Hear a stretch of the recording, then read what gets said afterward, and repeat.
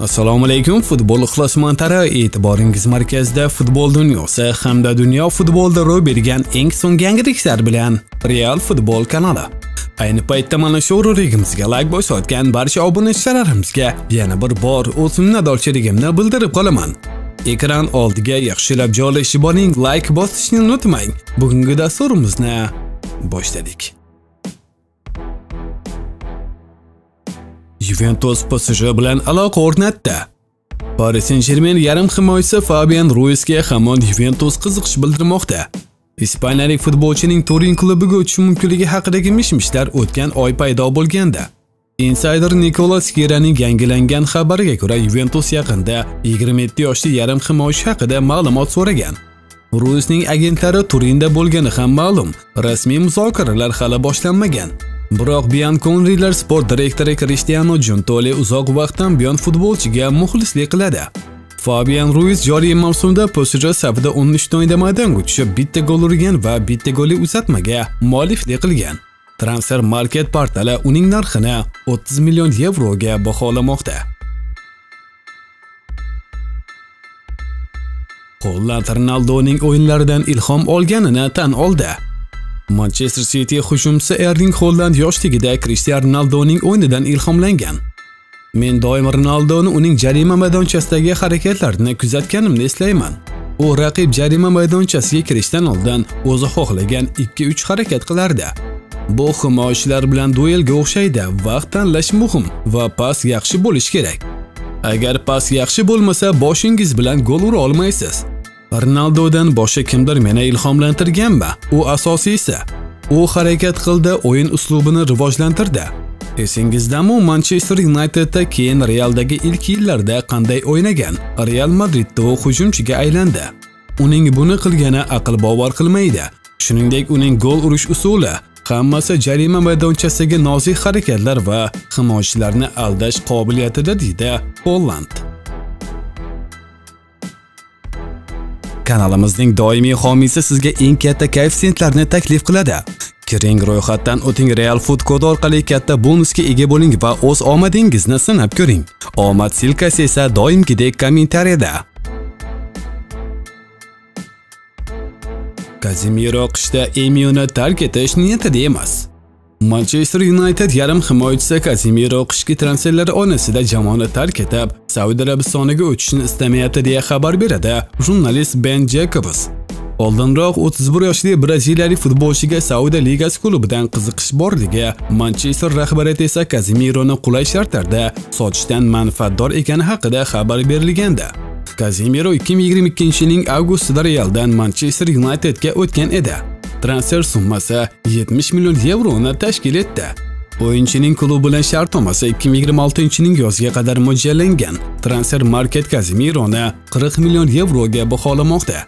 Joriy mavsumda braziliyalik futbolchi 12 ta o'yinda maydonga tushib, 4 ta gol urdi va 1 ta golli uzatmani amalga oshirdi. 12 turdan keyin Manchester United 21 ochko bilan APL turnir jadvalida 6-o'rinda bormoqda.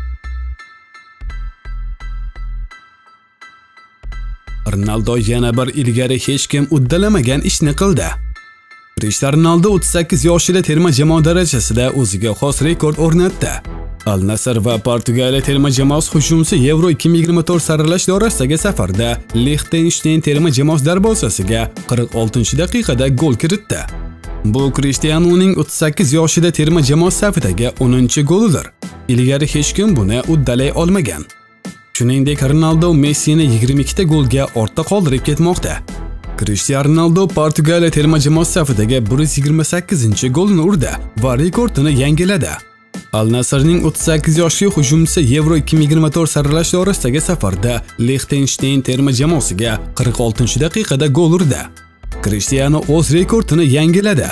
U terma jamoalar tarixidagi eng yaxshi to'puralar ro'yxatini boshqarib turibdi va Ali Daidan 19 ta gol va Lionel Messidan 22 ta golga oldinda bormoqda. Bavariya Davis bilan muzokaralarni qayta boshladi. Bavariya chap qanot himoyachisi Alfonso Davis bilan yangi shartnoma shartlarini yana bir bor muhokama qilmoqda. Kanadalik futbolchining amaldagi shartnomasi 2025-yilgacha mo'ljallangan. Matbuotda bir necha bor xabar qilinganidek 23 yoshli futbolchiga Real Madrid va Angliya Premier Ligasi grantlari qiziqish bildirayotgan bir paytda shartnomani uzaytirishni istamayapti. Jurnalistlarning xabariga ko'ra Bavariya va Davis o'rtasida yangi shartnoma bo'yicha muzokaralar qayta boshlangan. Futbolchining agenti yaqinda München klubi sport direktori bilan uchrashdi. Qayd etilishicha, so'nggi paytlarda tomonlar o'rtasidagi munosabatlar yaxshilangan. Mbappe PSJdan pulining bir qismini olmaydi, summasi ma'lum. PSG va Kylian Mbappe o'rtasida kelishuvga erishildi. Unga ko'ra forvard klubdan pulining bir qismini olmaydi. Gap turli bonuslar bilan bog'liq taxminan 80 million yevro haqida ketmoqda deb yozadi jurnalist Fabris Honkins. Shu bilan birga PSG hamon Mbappeni o'z safida saqlab qolishga umid qilayotganini ta'kidlagan. Futbolchining taqdiri butunlay uning qo'lida, chunki Kylianning amaldagi shartnomasi mavsum oxirigacha amal qiladi. Kylian Mbappe dekabr oyida o'zining 25 yoshini nishonlaydi. Transfer Market portali forwardni 180 million yevroga baholamoqda. Benzema Saudiya Arabistonida juda baxtliman. Al Ittihod hujumchisi Karim Benzema Saudiya Arabistoni chempionatida o'ynashdan xursand ekanligini tan oldi. Sportga mehr qo'yadigan bu buyuk insonlar safida ekanligimdan juda xursandman. Saudiya Arabistoniga nafaqat futbol o'ynash, balki ulkan sport loyihasini amalga oshirish uchun kelganman. Bu yerdagi odamlar ajoyib, ular futbolni yaxshi ko'radilar, deydi Benzema. Eslatib o'tamiz, 35 yoshli fransiyalik futbolchi o'tgan yozda Realdan ketgandan so'ng Al Ittihodga o'tgan edi. Joriy mavsumda forvard barcha turnirlarda 13 ta o'yinda maydonga tushib, 9 ta gol urdi va 4 ta golli uzatmani amalga oshirdi.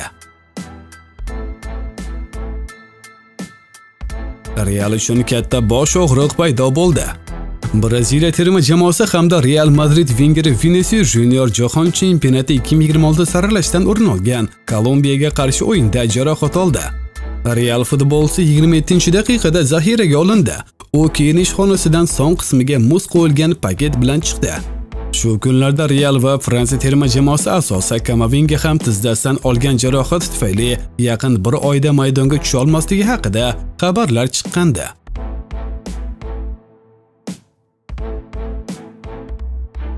Bugun sizlarga yetkazmoqchi bo'lgan futbol yangiliklarimiz shulardan iborat edi. Video yoqqan bo'lsa, like bosishni unutmang, kanalimizga albatta obuna bo'ling. Xayr, salomat bo'ling.